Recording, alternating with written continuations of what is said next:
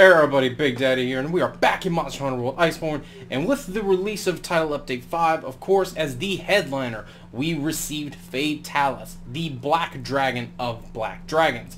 And since his release, this big old long boy has been serving up a side of red-hot death to the entire community. But it has been a few days since his release, and a lot of the community has gotten through this fight. However, if you are still struggling with him, if you don't know his moves, if you can't access him yet and don't know why, or if you just need some helpful tips and pointers along your fight with Fatalis, then this is the perfect beginner's guide for you. So with if this guide is well received, I will do a more advanced guide later on in the week. But in this beginner guide, we are going to go over things you should have done, things that you need to do before you fight Fatalis, his different phases, as well as his different attacks that he has in each phase. And then towards the end of the video, I will give you guys several helpful tips for this fight, as well as a couple build templates that I personally have been using with great success dealing with this beast. So if you are having a hard time accessing Fatalis, you need to have done everything up in Iceborne subsequent to his release. So you will need to have faced both Rajang and Stygian Zinogre in the Guiding Lands. You will have need to have faced Safi Jiva, and you will need to have unlocked and completed Alatreon. So how do you start this Fatalis questline?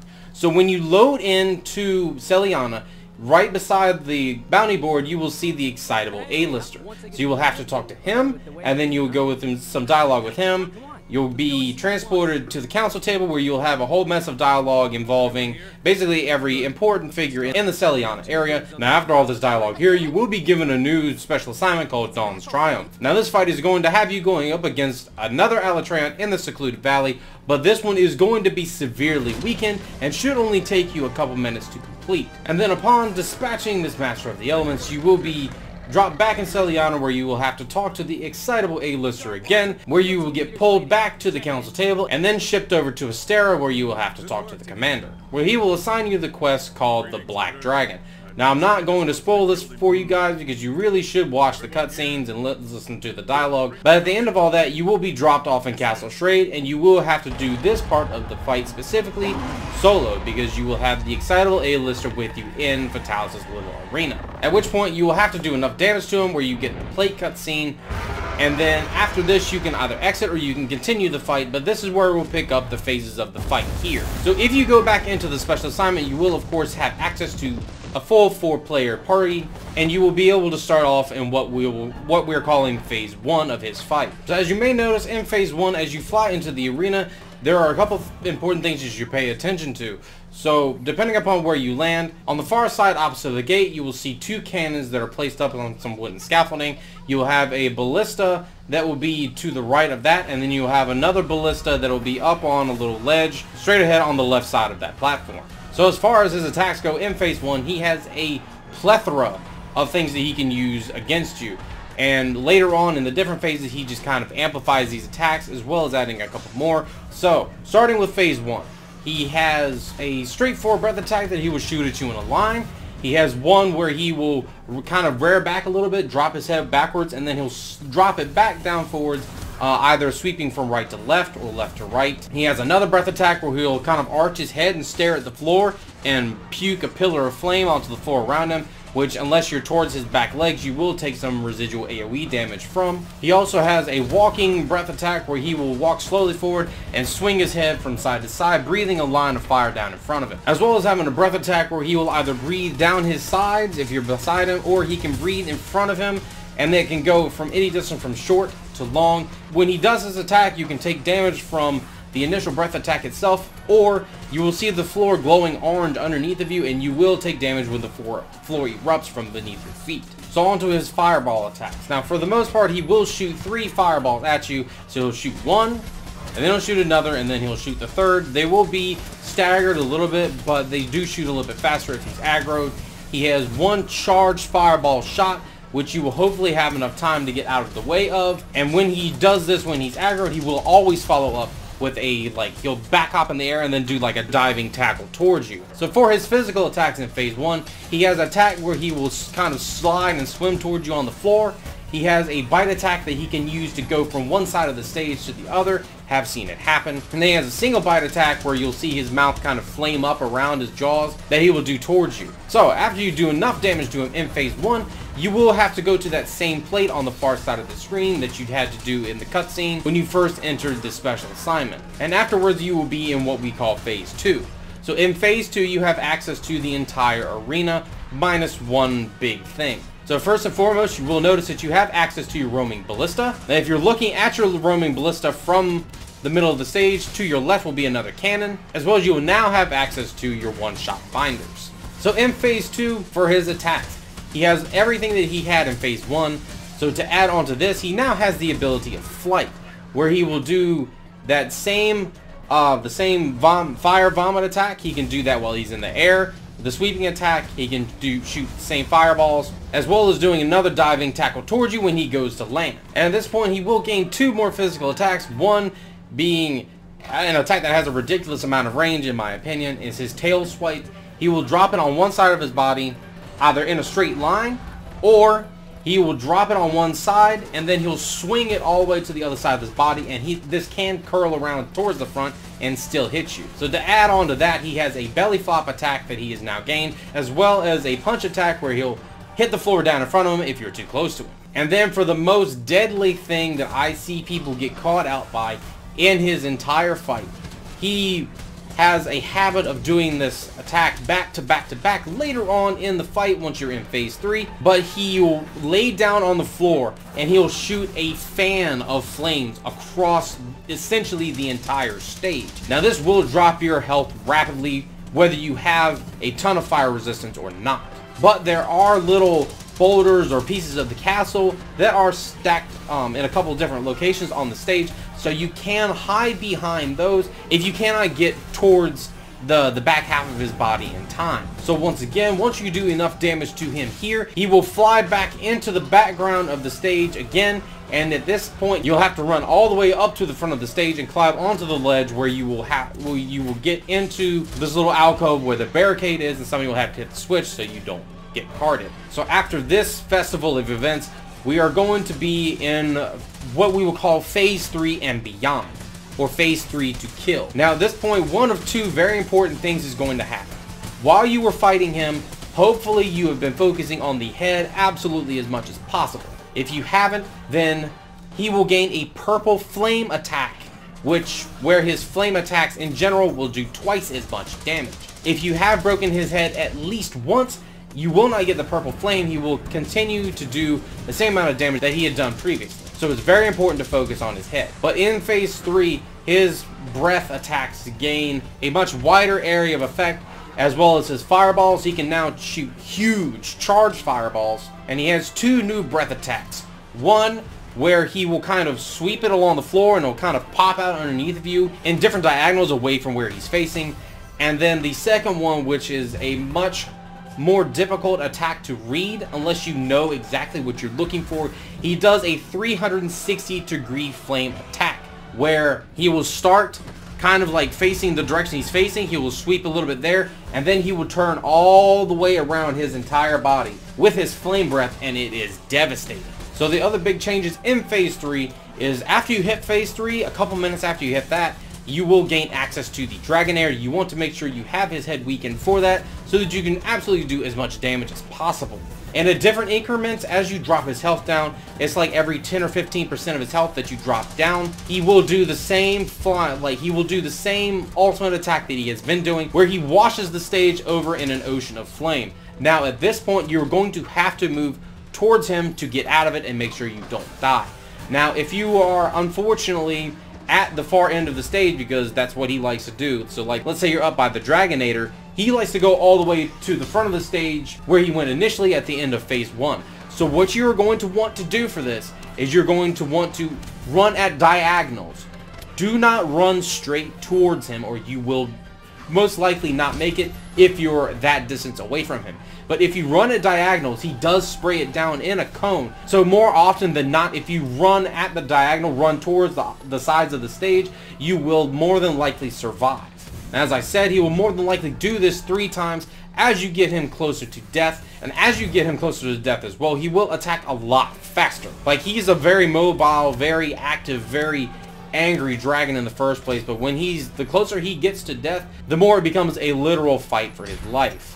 And his final new attack for Phase 3 is a devastating yet awesome pen move where he will literally make you a part of him. Now, you can probably avoid this, or at least get, avoid getting stuck in him if you break his chest. However, this move follows along the lines of his lore that when he kills hunters, he melts them down and adds them to his scales. So it is glorious to see this put into action. They did a great job with this move specifically in his tool set. And more than likely, if you have any health missing before he attacks you with this, you will probably get carted. So continue doing damage to him until you finally kill him. And what a relief it will be. I had such a hard time with this monster at first. I was extremely salty for the first day and a half. I spent approximately 10 hours fighting and failing, fighting and failing, killing this guy in between doing it solo and in four player groups until I finally got in a group that had great communication skills and we were able to beat it on the first try. So now that we've covered his different phases and everything that you can expect from his fight, let's go over some helpful tips and tricks for the fight itself. Now, in phase one, we're going to start here. So, as aforementioned in the beginning of the video, you have the two cannons that are up on the wooden, that wooden scaffolding there, the wooden stilts. You're going to have at, want to have at least one person load those cannons, wait until Alatreon is in a still position, and then fire those cannons at him. Now, you want also specifically for this person to have heavy artillery because if you do, it will take uh, somewhere between 7 and 8 cannonballs. As long as you hit him, you will knock him down and that will give you a free damage period to go to town on his head. Another huge tip and probably one of the biggest, most important things for his fight is Dragon Pods. Now you want to have at least one person with a light weapon, whether they're healing for you or whether they're doing damage for you, whatever the case is. You're going to want to have at least one person with a light weapon to weaken whatever part you can on him because that will drop Dragon Pods. Now, at any point in this fight, it is going to take two Dragon Pods to stun him. So, if you hit him with those two Dragon Pods, he will kind of do like a, a almost a backflip animation. He'll like lay backwards and swing his head from side to side. You can also do this with enough dragon element on your weapons if you stack the element on him enough. But pods, of course, are the most consistent way, and they can literally save yours or a teammate's life on multiple different occasions during this fight. So if you don't take anything to heart in this video other than this one tip, it will definitely help you. Now for phases 2 and 3, the same heavy artillery person is going to be integral for your fight because you will gain access to the roaming ballista in phase 2 so you want that heavy artillery person to hop on that and do as much damage to Fatalis' head and chest as much as he can. Because if you're unable to knock Fatalis down by breaking his head or doing hitting him with the cannons you can knock him down if you shoot him in the chest with either the roaming ballista or the regular ballistas that are placed around the stage I know it's hard to believe, but ballistas are actually useful now, just in this fight. However, the chest is going to need to be weakened to have the greatest effect, and it is going to take a bunch of ballista ammo, hitting him dead in the chest to get that knockdown on him, but you can definitely do it. And let's not forget the second cannon, as aforementioned, that is going to be beside at the one end of your roaming ballistas for the same heavy artillery person to use. So you can definitely get multiple knockdowns on this monster using just the tools that are placed around the stage for you. It is definitely possible. It's something you want to make sure that you focus on to make your life in hunting this guy easier. Third tip, and this is more of a warning. He cannot be flashed. He cannot be KO'd. So if you're thinking either of those are going to work for you, it won't. But you can use sticky ammo to break his wings However, that's about its only use in this particular fight. So for Phase 3, if you have not broken his head by Phase 3, you are going to want to make sure that you use your one-shot binders from either of the ballistas that are on the stage. Now, the one-shot binder locations are you will have one that's beside the ballista. If you're looking at the gate, you're going to have one ballista that's going to be on your left, and the one-shot binder is going to be right there at it and then the other one-shot binder is going to be near the platform where the cannon is by the gate on your right-hand side. And especially if you can combine using these one-shot binders with using this roaming ballista, as long as the head is tenderized at, towards the end of Phase 3, once you have access to the Roaming Ballista again, hopefully you used it in Phase 2, you will more than likely get a head break, a first or second head break, or be very close to both. Fifth tip, we all know that the Dragonator can hit twice, so you have damage that you can do to a monster from each particular spike that comes out of the wall. With Fatalis specifically, you once again want to make sure that his head is weak before you hit him with this Dragonator, because it will guarantee a knockdown. You also want to make sure that you have him lined up so that you can hit him with both spikes and you don't miss one or the other because you're going to miss out on a huge chunk of damage because these spikes both do almost 6,000 damage to him apiece in a four-player hunt. However, if you're standing up there waiting for the Dragonator or you're on any of the platforms where any of your tools that are located around the stage, i.e. your cannons or ballista, he is going to focus on you hard at one point or another, so he will shoot fireballs at you or charge fireballs at you. So, so do be warned, you probably will want to make sure that you have a temporal mantle or something on with you when you go to any of these areas.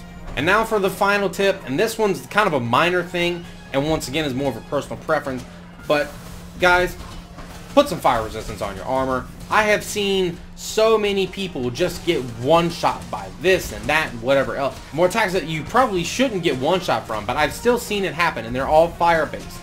This guy does 90% of his attacks are fire.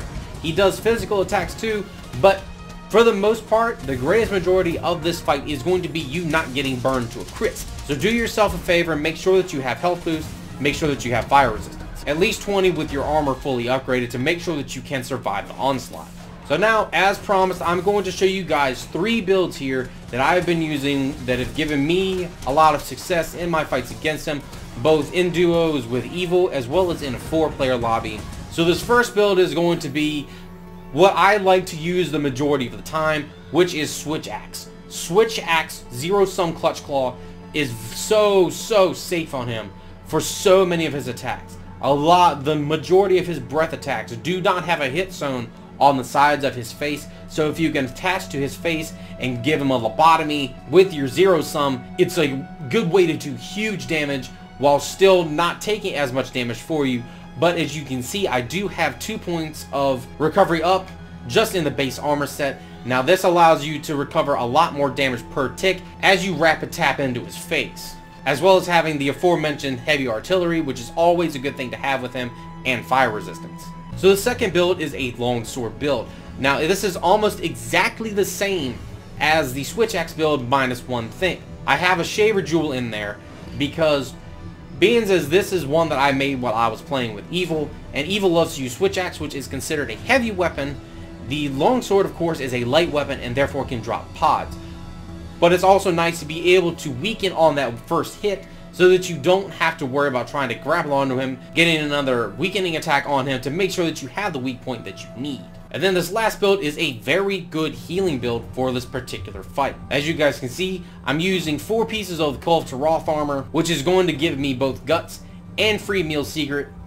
And then I have the fire resistance as well, even though Kulve does have a pretty significant weakness to fire. The fire resistance that I have on this takes me up to 39, I'm still able to take one and a half to two hits of his fireballs before I cart. And being as I also have speed eating and free meal secret with this, as long as your teammates don't get one shot, you should have no problem healing them through just about anything that Fatalis does to them unless he combos them or catches them in that fan breath. And that, ladies and gentlemen, is my beginner's guide to Fatalis. And as I said at the beginning of the video, if this guide is well received, if it gets enough comments and views and likes, I will do a more advanced guide in a couple days. I will wait and see at that point what you guys think about the information that I presented to you. But hopefully you guys did enjoy this video, and if you did, please make sure to like, comment, subscribe, ding the notification bell, and we will see you on the next one. Good luck up there, hunters, with the Black Dragon.